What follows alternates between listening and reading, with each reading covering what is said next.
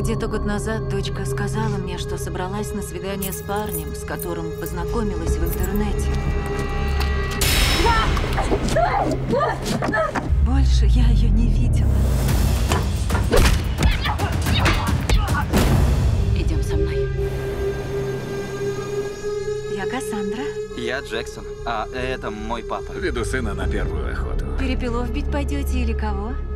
У каждого участника есть шанс выиграть 100 тысяч долларов. А я гожусь в теории. Это Кассандра будет с нами на первой охоте Джексона. Берем деньги у богатых мужиков. Идеальная картина третьей волны феминизма. Охота охотой, но не она делает тебя мужчиной. Мужчиной становишься, следуя своим моральным принципам. Нашел что-нибудь в ее хижине? Ничего. Она показалась мне знакомой. Да слушай, они все со временем сливаются. Пора нам поговорить о том, зачем мы здесь на самом деле. Как мне получить эти сто штук? Думал, уже не спросишь. Нас привезли, чтобы охотиться на нас. Нам не уйти. Пожалуйста. Бегом.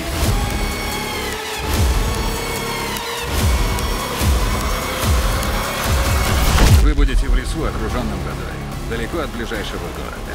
Берега патрулируют охотники, которые вернут вас в лес, или пристрелят, если попытаетесь удрать. И так надо прожить сутки.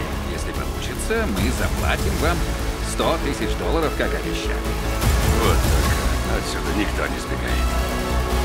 Охота началась.